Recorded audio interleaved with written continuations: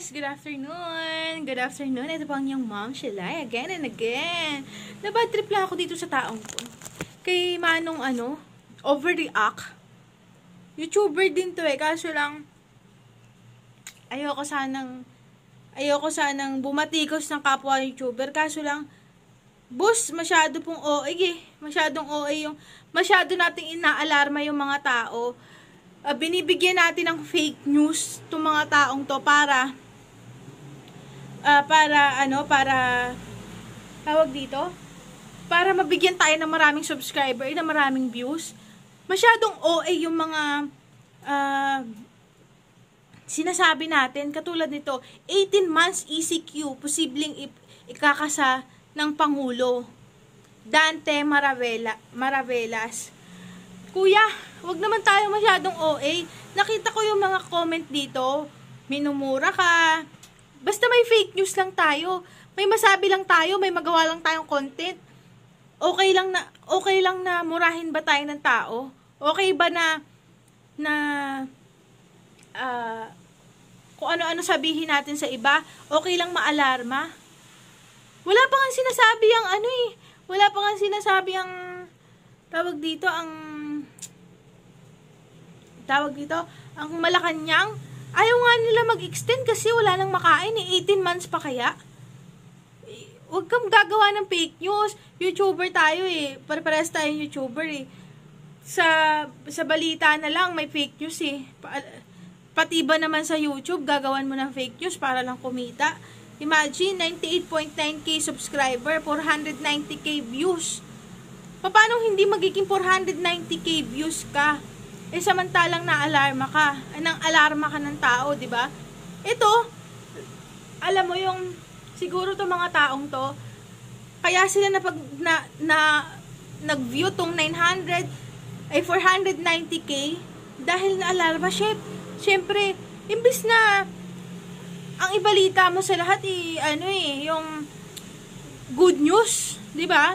Na wala ng COVID, wala ng ganito, kung ano, ano pa sinasabi mo sa vlog mo Huwag ganun. Huwag, huwag tayo mag-aalarma ng tao kasi, kasi, kasi kahit kami, nakapwa mo YouTuber, at saka yung mga tao sa paligid mo, na-alarma. Imagine, sa sila kukuha ang pagkain ngayon? Iyan nga lang 2 months eh. ba? Diba? Imbis na, good vibes naman. Chong, good vibes. Good, good vibes kuya, ba diba? Huwag yung puro ganto na mag, makakuha lang tayo ng view kahit ano na lang sabihin natin, ba diba? Parang yung kailan silawan Sabihin, patay na. Sasabihin, naka, nakauwi na ng Pilipinas, pero wala pa naman isa. ba Pag, kung, kung gusto nating magandang image, kung gusto natin sumikat, huwag sa gantong gawain, chong. Huwag sa gantong gawain, nakakahiya, ba Nakakairitang nakakahiya na, ha, hindi ko alam kung ano yung pakiramdam. Inaalarma mo yung ibang tao para lang sa views. Sumayaw ka na lang dyan, mag-tiktok ka na lang, ba eh, kung gusto mo maging artista ka agad, katulad nung, parang yung ginagawa mo, katulad na kay ano eh, Coco, kay La Coco Martin eh, no? Tignan mo ah, tignan mo itong mga comments sa'yo. Like nyo kung sino na bad trip sa pagmumukha na nagbabalita. Piling matalino, bobo na nag, nagmamarunong. O, di ba? Hindi ka ba nasasaktan sa ganun? Di ba? Para lang makabenta ka, may number ka pa dun. Di ba? Tapos, sabi niya, one year and six months na mo, tumbong mo, Mr. Fake News. I-quarantine mo na lang yung ilong mo at ganyang katagal buti pa. O, di ba? Hindi ka pa na... Siguro, siguro itong taon to, habang binabasa yung mga comment nyo, guys, tumatawa pa. Siyempre, ang taas ng view niya, di ba? Sabi pa, hit the like kung kita nyo kung yung kulangot ni kuya at wala akong naintindihan sa mga sinabi mo lintik ka bida-bida ka. O, di ba ha? Naiinis sa'yo yung mga tao kasi, syempre, maaalarma sila. Kuya naman. Kahit kapag 18 months tong quarantine, naku, katabi lang kitang nginudngud na kita, sa totoo lang. Wow, 18 months ha. Asahan mo na ang following. Nakawan, holdapan, akyat bahay, carnapping, riot, away, pagrebelde ng tao, patayan.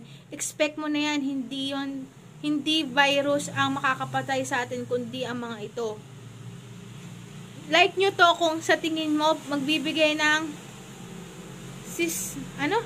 Hyster, hysteria, depression, at anxiety sa tao lang ang mga pinagsasabi niya. Tama. Tama. Nakakapagbigay ka ng stress, nakakapagbigay ka ng depression sa tao. Yun, yung, yung 490k views mo, depress lahat ng tao dahil sa'yo. Hmm. 18 months, patay na mga tao sa gutom. Ikaw na lang, kung gusto mo, wag kami. O, di ba? Huwag ka magbibigay ng fake news. Pwede makulong to. Pwede ka makulong kasi fake news yung mga sinasabi mo eh. I've been isolated in Baguio for two months. There is there in a house in Cebu but I can't go back. We sincerely hope that you will open the temporary air in air harbor. Ano yung sasabi nito? Lahat na lang pag namatay COVID. Di ako naniniwala sa datos sa, ni Duque sa namatay dito sa Pilipinas. Wala ba namatay sa ibang kaso? That's never gonna happen. Sana nag-iisip ka. Stupid, medyo salot ka sa media. Totoo, salot ka sa media. Pag yung fake news yung mga sinasabi mo, talagang salot ka. Salot ka sa YouTube, dapat nire-report ka. Sana mapansin to ni Duterte. Tapos murahin siya ng live sa press con. Mga ganitong tao, itsura pa lang nag dudunong-dunungan. Masyado ka nagdudunong-dunungan kasi kuya eh. Nakakatulog ka pa kaya sa dami ng views mo at nagmumura sa'yo? Para kasi silawan talaga. Hoy, kung ikaw nagugutuman ka na, wag mo idamay ang ibang tao. Pasahurin mo kaming mga trabahador at lahat ng kailangan namin ikaw magbigay sa amin. Lintik ka, bunganga mo na yan. ba? Diba? Mr. President Duterte, fab pabunan antiviral injection. Faburan. Subukan nyo naman. Gawang Pinoy yan. May tiwala naman tayo sa Pinoy. E di sana di mamimili, di namimili ng bigyan ng tulong. Kahit na naman ano eh, uh, basta may pambili tayo ng gamot, po pwede nang lumabas, di ba? Huwag niyong papaniwala. Huwag, kung ako sa inyo, yung mga ganitong fake news, wag nyo naman sanang susubscribe na hindi ko naman sinabi subscribe nyo ako, pero yung mga nagbibigay ng fake news sa lipunan, nagbibigay lang po yan ng depression, stress sa atin.